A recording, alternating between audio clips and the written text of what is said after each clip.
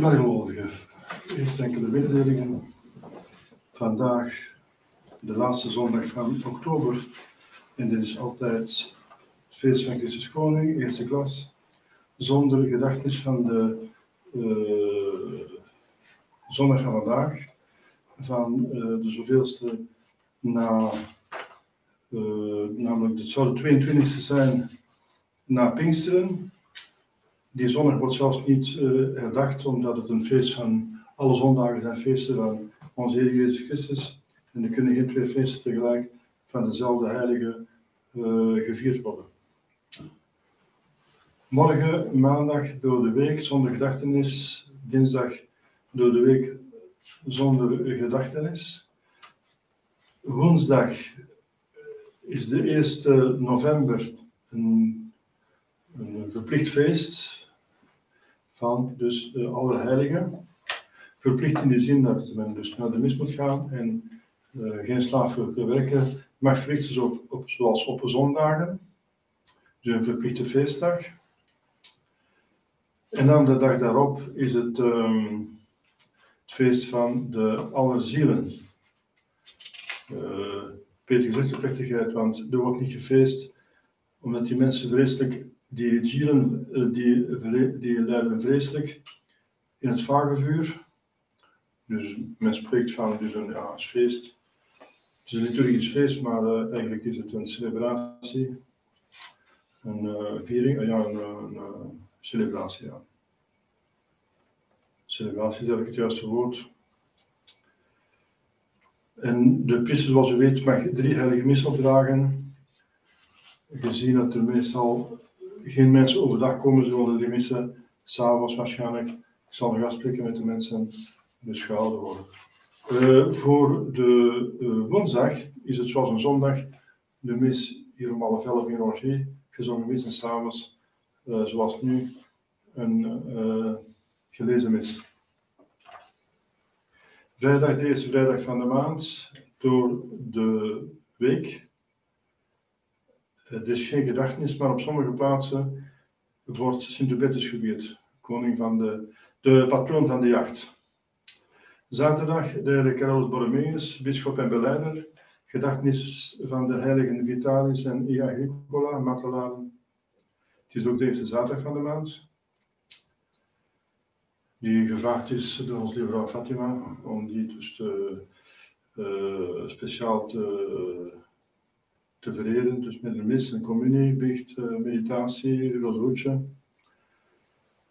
Die waar heel veel genade verbonden zijn, zoals ook, zoals u weet, de eerste negen vrijdagen van de maand. De twaalf beloften, waarvan de laatste is de eindvolharding. Komende zondag is de 23e zondag na Pinksteren. In de naam van de Vader, de Zoon en de Geest samen.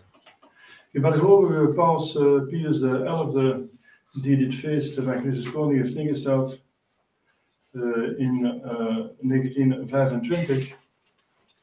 Dus als u een missaal gebeurt van voor 1925, zal het feest zelfs niet instaan. In de missaal, het is van 1925, want voordien werd het gevierd, de Christus Koning werd gevierd op Palmezondag, toen hij werd ingehaald door de Joden als zijnde koning uh, zoon van David, dus de Messias. Wel, uh, de paus heeft dat gewild op het, uh, de laatste zondag van oktober, omdat hij zo dicht mogelijk zou zijn bij het feest van alle heiligen. Waarom? Wel omdat Jezus koning is van het heelal, en niet alleen van het heelal, maar ook van de, de, de, onzichtbare wereld. Van alles, uiteindelijk, van de ganse schepping. En specifiek is hij het hoofd van de kerk, en de kerk heeft drie delen. We zitten dus eigenlijk in het dogma, eh, de viering van het dogma, eh, dat op einde van de credo komt van de apostelen, de symbolen van de apostelen. Ik geloof in de gemeenschap van de heiligen. Vandaag is het feest van Christus Koning en Christus is vooral koning op aarde. In, op, niet van de aarde, zoals hij zegt, maar op aarde. Trouwens, dat staat ook in onze Vader, dat hij ons heeft opgelegd. Uh, bid uw rijk komen. Waar? Op aarde natuurlijk. Want in de hemel is het al. En u wil geschieden op aarde zoals in de hemel. Dus hij is niet van de aarde. Zijn koninkrijk is niet van de aarde. Zoals hij zegt aan Pilatus, maar moet wel op aarde gerealiseerd worden. Dus hij is specifiek koning op aarde, omdat uh, wij hier in de uh, strijdende kerk zijn. Strijdende kerk is een strijd, een oorlog tegen uh, de duivel, tegen het kwaad, tegen de zonde, tegen de erfzonde, tegen de duivel, tegen alle persoonlijke zonden, tegen de gevolgen van de zonde, om alle mensen naar de hemel te brengen.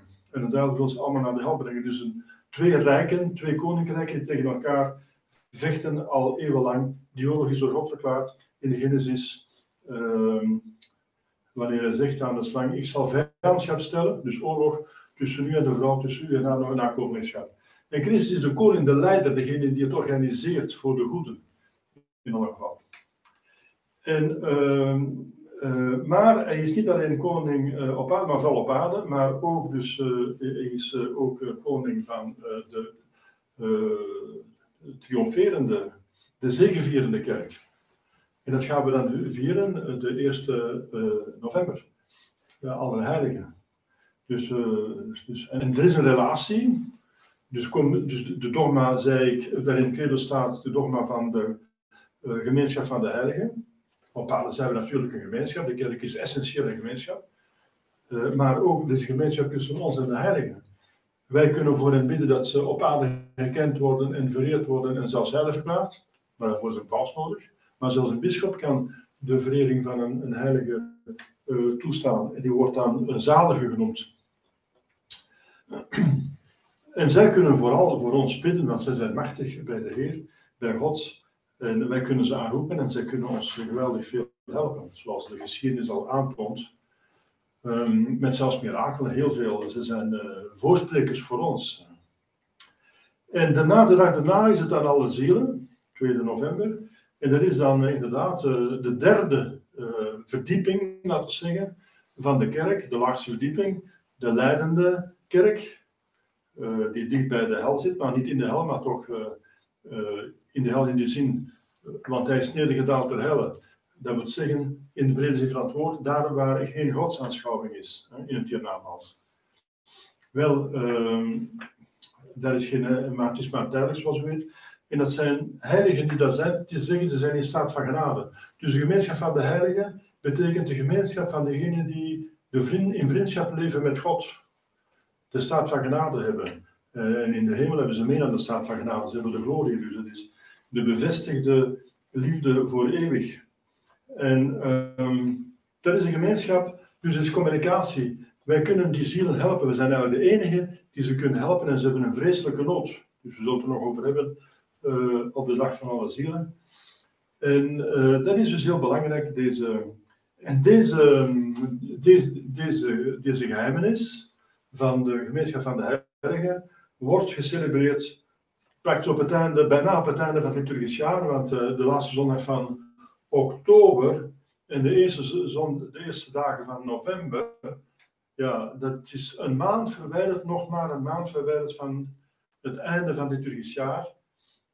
Dat begint, er begint, dat eindigt en het begint dan met de advent, die in begin december meestal aanvangt. Dus wij naderen het einde van um, het liturgisch jaar en ook het einde van het credo, bij wijze van spreken, van de apostelen. Uh, en natuurlijk, uh, het is ook goed, een andere reden waarom de kerk dat op deze manier op, nu doet, dus deze drie feesten bij elkaar zetten, omdat het eigenlijk het, het einde is. De, de, de, de hemel is het einddoel.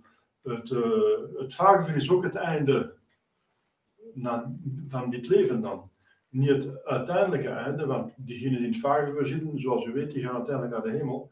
Maar het is toch het einde van hun leven, het vagevuur. Het is een van de mogelijkheden uh, die er gebeuren als we sterven, het einde van dit leven. En uh, dus het einde van dit leven, het doel eigenlijk van alles, de hemel. Het doel van het gast natuurlijk is ja, het doel van waarom dat God geschapen heeft, ons onderhoudt door zijn voorzienigheid, om, is mens geworden om ons te verlossen, ons dan ook heeft verlost. Dat is de kerstkring en de paaskring. En nu, eh, dus, en dan de opgestegen hemel op dat de Heilige Geest zijn werk zou kunnen doen op aarde. Geen twee personen tegelijk op aarde zouden zijn, maar het is maar één God. Als er twee personen zouden ageren, zou de indruk kunnen wekken dat er twee goden zijn. Dus, terwijl ze maar één God zijn, maar het zou de zaak compliceren. Dus God in al zijn wijsheid heeft besloten dat er maar één persoon, goddelijke persoon tegelijk op aarde specifiek uh, handelt. Dus de, de Vader heeft vooral gehandeld bij de schepping en de verzinnigheid. Dan de menswording en de verlossing God de Zoon en de heiliging God de Heilige Geest.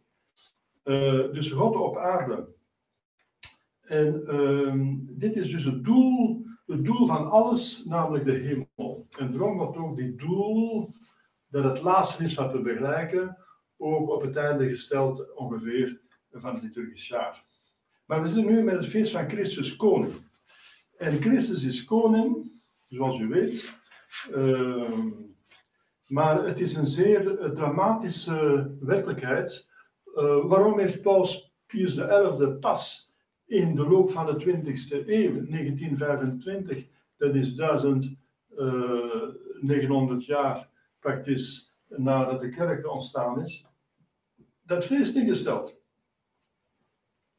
De kerk is ontstaan, of is volledig ontplooid in het jaar 33, zoals u weet. Dus dat is ongeveer uh, zoveel jaar, 1900 jaar ongeveer, dat de kerk gewacht heeft om dat feest uitdrukkelijk uit te roepen. Waarom? Wel, het is altijd geloofd geweest, zoals ik zei, want het staat zelfs in de Heilige Schrift. Jezus zegt, ja, jij zegt het, ik ben koning, en mijn rijk, mijn koninkrijk, dus uh, is niet van deze wereld, dus hij spreekt van zijn koninkrijk. Trouwens, dat is het eerste waar hij het over heeft, als hij begint te preken in zijn uh, openbaar leven. Hij zegt, bekeert u wat het koninkrijk der hemelen is nabij, en dat is de kerk hij gaat stichten op aarde. Dus een hemelsrijk op aarde, en dat een rijk is dat uh, onsterfelijk is, dat zal duren tot het einde van de wereld. Zoals voorspeld in zo'n profetie van Daniel enzovoort. Um, het is een, um, het is een uh, belangrijke uh, geheimenis en wij moeten daar zeer veel aandacht aan besteden aan, deze, aan dit koningschap. Maar het koningschap is dus heel specifiek. Jezus is koning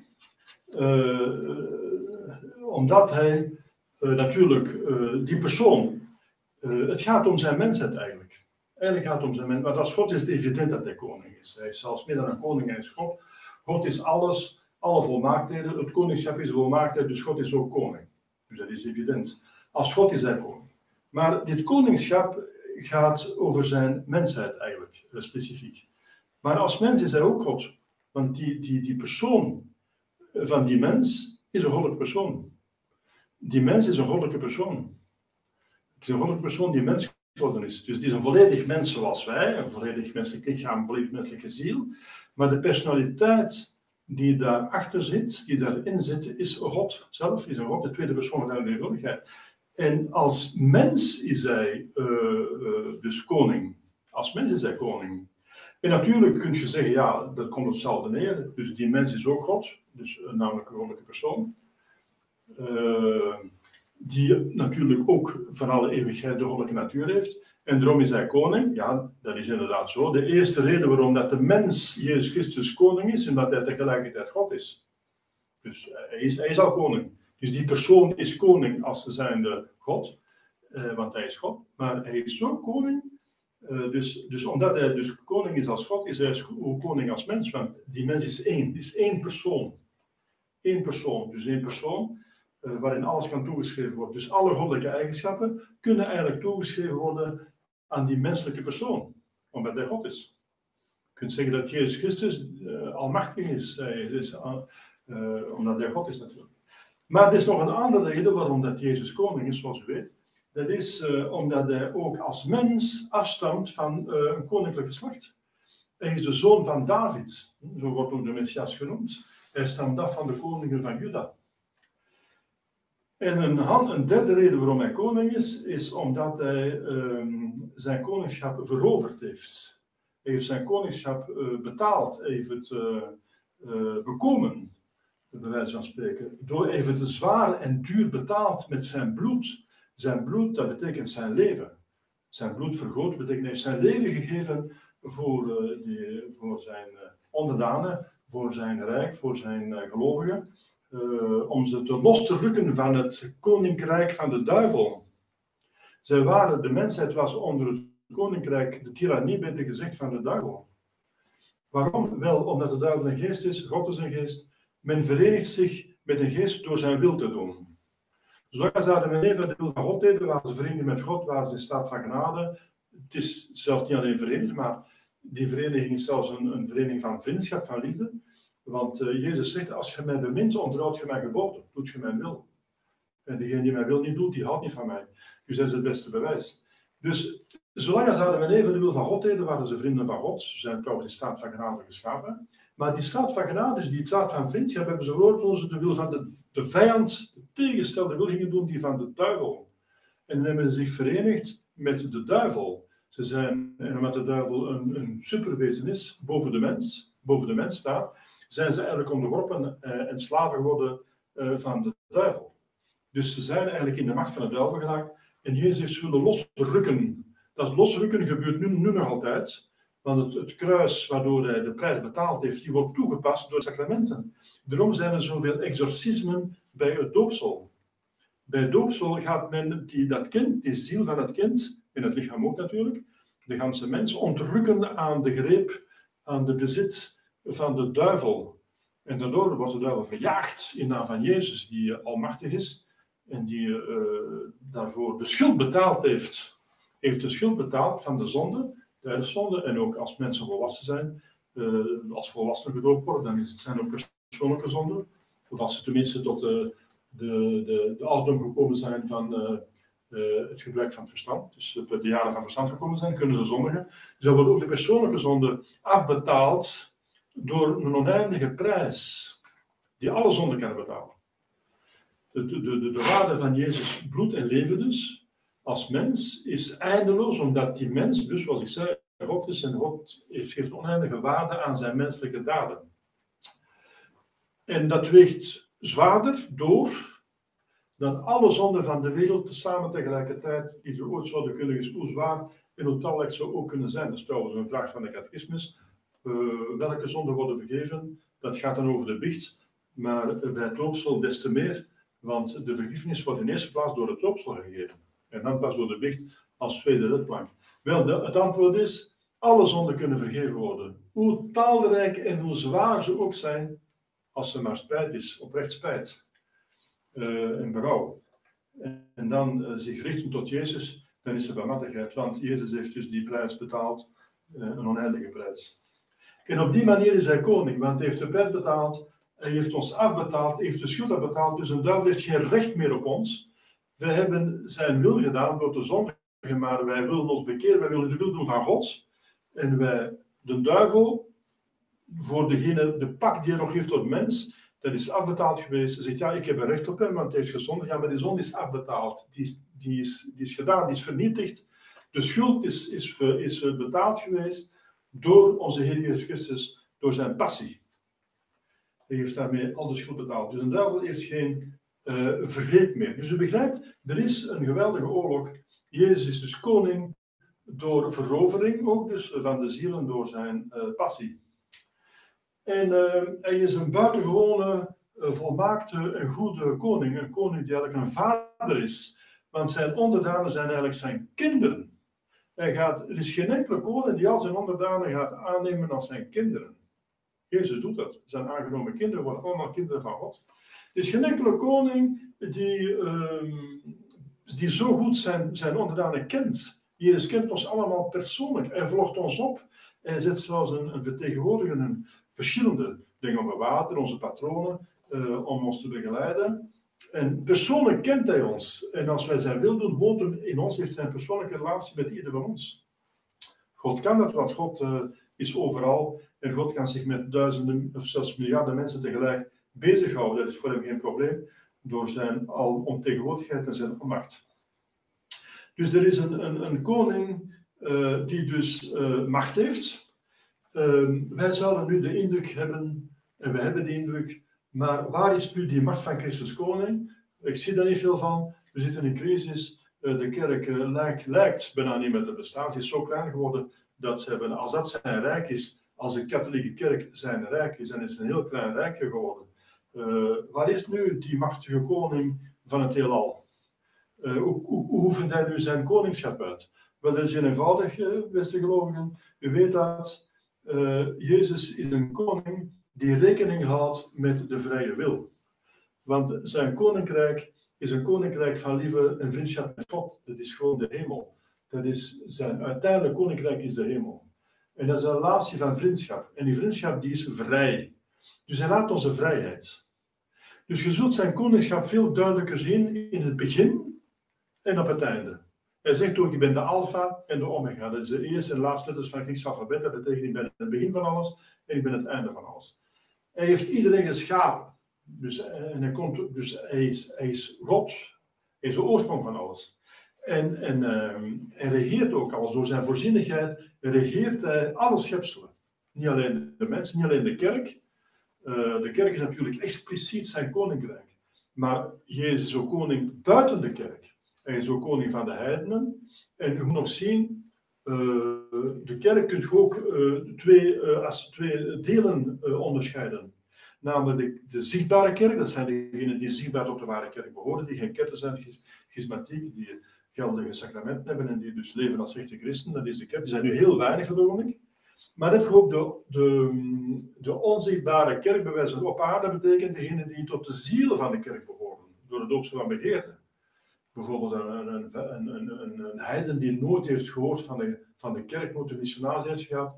Er zijn er veel mensen die nooit echt de heilige kerk hebben leren kennen zoals ze echt is. Uh, want de, heilige, de, de, kerk, de echte kerk die, die wordt vervolgd en is heel klein en die is eerder ongekend.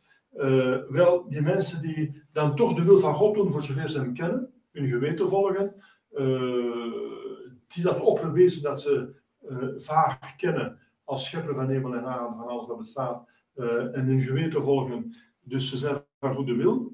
Jezus zegt ervan, de engelen zingen in zijn plaats, vrede op aarde aan alle mensen naar goede wil. En de kerk leert dan met concilie van Trent en de passen dat zulke mensen eigenlijk het doopsel hebben van begeerte. Dus die behoren ook tot de kerk. En dat aantal is ongekend, dus je moet niet uh, schrikken van het kleine aantal van Christus koninkrijk op aarde nu, dat wil zeggen expliciet uh, koninkrijk, de kerk, de zichtbare kerk, maar ook nog de onzichtbare kerk, degene die allemaal tot de, tot de ziel van de kerk behoren, dus eigenlijk ook tot de kerk behoren, maar die gaan ook naar de hemel. Uh, omdat ze in staat van genade zijn door een die, die goede wil die ze hebben, dus die eigenlijk de vriendschap veronderstelt met God, en ook vriendschap is. Dus de vriendschap, dat is juist de liefde tot God, dat is juist degene die toegang verleent tot de hemel. En die mensen die hebben die genade om Jezus om God te winnen, juist door, zonder dat ze beseffen, door de genade van Jezus aan het kruis verdiend. Dus die behoren in zekere zin tot de kerk, maar dat getal is ongekend. God kent het, maar wij kennen dat niet. Wij mogen niet oordelen en veroordelen, maar we weten niet hoe groot dat aantal is. Maar dat kan eventueel uh, aanzienlijk zijn, dat aantal, nu ook. Maar uh, Christus is koning nu op dit moment. Hoe dat wel? Omdat hij alles controleert. heeft alles gezien en uh, alles, er is niets aan zijn controle ontsnapt. maar natuurlijk, we zitten in het regime van het verdienen uh, van de hemel of van de hel. En dan moet je de mensen de vrijheid geven. Dat moet vrij gebeuren. De vriendschap is vrij, ofwel is het geen vriendschap. En dat, dat geeft uh, een beetje de, de dramatische van de situatie. Want wij hebben het ongeluk, als het een ongeluk is, want God laat qua toe voor grote goed, maar in zich objectief is het ongeluk, is het een ongeluk, dat wij in een tijd leven van geloofsafval.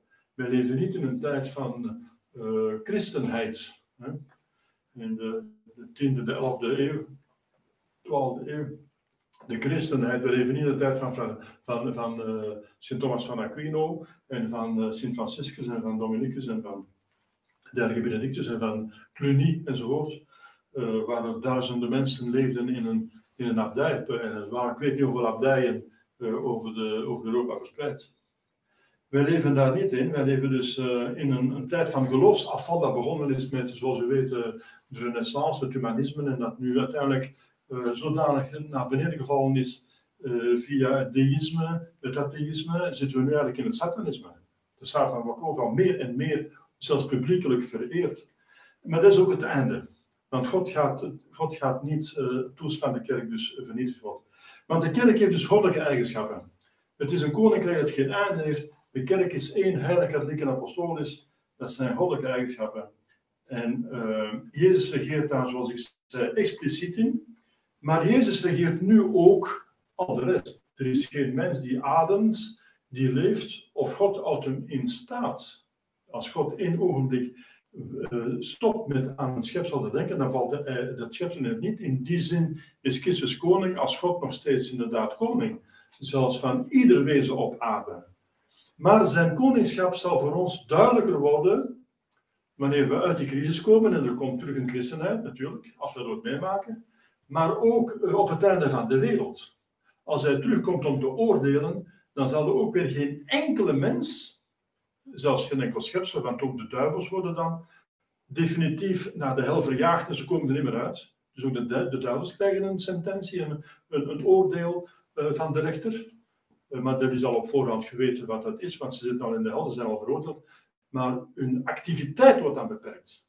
Maar er is geen mens, geen enkele mens, geen Soros, geen Rothschild, geen Merkel, geen uh, Macron, geen Biden, niemand uh, geen niemand ontsnapt aan Christus koning. Alle knieën zal zich buigen. In de hemel, op aarde en onder aarde, zelfs in de hel zullen ze zijn knie buigen. Ze zullen moeten erkennen dat hij God is. Dus als rechter komt hij terug en dan is zijn koningschap duidelijk. Ik zeg het op het begin, begin omdat hij het begin is van alles. Zonder hem is er niks. Dus hij is gewoon de superkoning, hij is God. Maar ook op het einde is het duidelijk hoe sterk hij God is. Uh, koning is bedoel ik omdat hij als mens zal oordelen. Het is de Christusmens die zal, iedereen zal oordelen. Hij zal terugkomen om te oordelen de levenden en de doden. Dus uh, dat is um, het koningschap van Jezus, is dus rechterlijke macht op het einde. Maar nu, hij gouverneert alles zoals ik u gezegd heb. Hij gouverneert bij uitstek via de kerk. Dat is zijn lieveling. Dat is eigenlijk zijn rijk naar zijn hart. En al diegenen die bij de kerk zijn, die probeert daar ook te gouverneren, want die, die, daar is Christus Koning ook mee bezig, want die achtervolgt ze, onder de uh, aanhalingstekens, met zijn genade, met zijn liefde, om ze te bekeren. Dus ieder mens krijgt in, in zijn leven voldoende genade om naar te gaan. Dus ook daar houdt Christus Koning zich met, in detail met alle onderdanen. Uiteindelijk zijn alle mensen die leven zijn potentiële onderdanen, zijn mogelijke onderdanen heeft dus actuele onderdaan, die het al zijn, dat zijn degenen die in staat van genade zijn, en heeft degene die hij probeert te krijgen. Dus, dus in die zin is Christus koning dat hij zich echt intensief bezighoudt met waarom de mensen eigenlijk bestaan. Namelijk om naar de hemel te gaan. Wil wel gelovigen, we hebben een prachtige koning die ons bemint zodanig. Welke koning heeft zijn leven gegeven voor zijn onderdanen? Welke koning, zoals ik zei, heeft zich geadopteerd als kinderen en geeft gans zijn erfenis, de hemel, aan, aan, uh, als, als, uh, maakt ze tot God? Welke koning maakt zijn onderdanen allemaal tot koningskinderen? Dat bestaat niet. Daarom zegt Jezus ook: Mijn koninkrijk is niet van deze wereld. Want in deze wereld is er heel weinig vrijheid in een koninkrijk. Maar een koning zal de mensen dwingen, door politie, door gendarmerie, uh, door het gerecht, zal hij ze dwingen om zijn wet te volgen. En Jezus dwingt niet fysisch, hij, wacht af dat we het vrij doen. Dat is een groot verschil. Daarom zegt hij, God moest mijn koninkrijk van deze aarde zijn, zou ik mijn engelen roepen die mij komen helpen en mij bevrijden. Maar dat is mijn bedoeling niet. Mijn bedoeling is dat ik dus uh, gebruik maak van deze gevangennemingen, van deze passie, uh, om juist de wereld te, te, te verlossen. Je zult begrijpen welke koning Jezus is, als je ziet dat op het moment dat hij zegt tegen Pilatus, ja, ik ben koning en mijn koninkrijk is niet van deze wereld, mijn koninkrijk, dus hij heeft het over zijn koninkrijk, dus hij is koning. Dat hij op dat moment eigenlijk al zijn passie ondergaat, want hij staat daar uh, geboeid. Uh, ze hebben hem al geslagen, veroordeeld al in de Sanhedrin. hij wordt gegezeld, met donen gekroond enzovoort. Dus hij zit in zijn volle passie. En hij zegt in zijn volle passie, ik ben koning. Je ziet wat een koning hij is. Hij is een koning die zijn koningschap zal uitoefenen via zijn kruis. Uh, aan het kruis zal hij trouwens vieren. Ongelooflijk wat een koning dat hij is. Zijn kruis is, is, zijn, is zijn overwinning over het kwaad. Zodanig dat de keizers en de koningen die zich zullen bekeren het kruis op hun kroon zullen zetten als het toppunt van uh, glorie. De, de, het kruis voor het toppunt van de glorie, want staat bovenop hun kroon staat het kruis. Karel de Groot had bovenop zijn kroon een kruis. Uh, dus en, de heilige Stefan is ook enzovoort. Dus um, Het is een koning die, waarom? Omdat hij juist, zoals ik zei, zijn koninkrijk is een koninkrijk van liefde en vriendschap. En Jezus zelf, hij heeft geen grotere vriendschap en liefde die zijn leven geeft voor zijn vrienden. En dat is wat hij juist gaat doen. Hij gaat zijn leven geven voor zijn vrienden en dat is het toppunt van de uitoefening van zijn koningschap. Dus het is geen koning die iedereen slaaf van zichzelf maakt om hem te dienen, zoals een tiran. Maar, maar het toppunt van zijn koningschap is, dat is het toppunt van zijn leven, dat is het, uh, waarom hij gekomen is op aarde. Dat is zijn werk, de verlossing. Uh, zijn toppunt is dat hij aan het kruis hangt en sterft voor zijn onderdanen. Wat een koning. Dit is het koningschap van Jezus, dat dus niet van deze wereld is, die eigenlijk naar macht zoekt enzovoort. En u weet het, hij zal wel die koningen van deze aarde gebruiken. Dat zullen dan de bekeerde en de christelijke koningen zijn. Maar die koningen die zijn eigenlijk dat zijn, die zijn leden van de kerk en dat zijn als, in het beste geval heiligen. Heiligen die vooral het bovennatuurlijk leven van hun onderdaan organiseren. Het natuurlijk leven, maar ook het bovennatuurlijk leven, dus de kerk bevorderen. Uh, heiligen zoals uh, Karel de Groot is een groep van heiligheid toch wel. Uh, wordt ook zo. Een specifieke heilige is de heilige Lodewijk, de heilige Olaf, de heilige Hendrik, eh, de heilige uh, Stefanus van Hongarije enzovoort. Dus dat zijn aardse koningen, maar die dan behoren tot de opperkoning Jezus, want ze zijn zelf gelovigen onderdaan in de kerk. Dus, en op die manier wil hij dan ook weer dus regeren op aarde. Op aarde willen regeren, zoals wij zullen zeggen, onze Vader, u wil geschieden op aarde als in de hemel. Wel, het is dat wat wij moeten doen, dierbare geloven. Dat is het slot van mijn, van mijn sermon. Wat behoort tot ons? Wel, wij moeten goede christenen zijn. Zijn koninkrijk bij uitstek op aarde is de kerk. En zijn onderdanen, zijn lievelingsonderdanen zijn de heiligen. Zij die wij streven naar de heiligheid. Dus wij moeten streven om hem koning te laten zijn.